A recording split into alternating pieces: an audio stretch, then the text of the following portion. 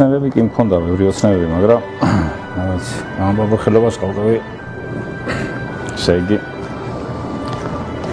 საბოლოოდ ასე ვთქვა. მიწაში ავიღებთ ხელოვნებად ვაქცინას. ეს მიწა და მოიპოვება, ესე იგი ამ ჩვენი სოფლიდან არის 7-8 კილომეტრი იქნება.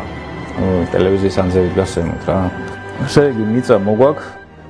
შემდგომ ვალბობთ სპეციალური საზელი გვაქვს იქ ყრით. შემეხება ამის დამუშავება, დაზელვა, ასე უძახით, ასე ქვია. და ნუ შემდგომ მე ხდება ამის გაკეთება, დოქის გაკეთება. მე ამას უნდა გაშრობა. მე უნდა გარედან ინგლისურ ძახით ჩვენ კრასკა არის საბუნებრივი კრასკა არის შემოქმედება ეს სოფელში. ხო და შემდეგ დგავ ქურაში და წვავთ. უნდა გამოწვა. დავიწყე ესე იგი ბავშვობიდან ვაკეთებ რაღაცა ნუ ხელისეჩოვა უნდა თავიდან და მე რავი ჯარი რომ დავამთავრე 20 წელს ვიყავი რაც ასე მასიურად დავიწყე კეთება.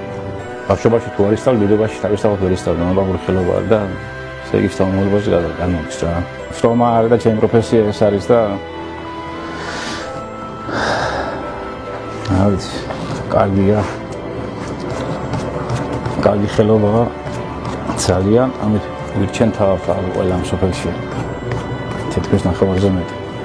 ეს არის ულტრანახევრიანი დოქი ხო ახლა ვართ ესე იგი კალეშის პროცესში პროცესში. ასე ინესება ასე თუ ხატავთ ან მოხატავთ მოხატვით ამის მოხატვა ხდება გამოწვის მერე. რომ გამოვწოთ ქურაში. მერე ხდება ამის მოხატვა. კი, მერე უნგარიდან უკეთებ. ხანდახან ტერნებს უკეთებ, ესე რაც ხაზებს უკეთებ. ან საიდან მოდის ეს შემოშასახელი არიცი?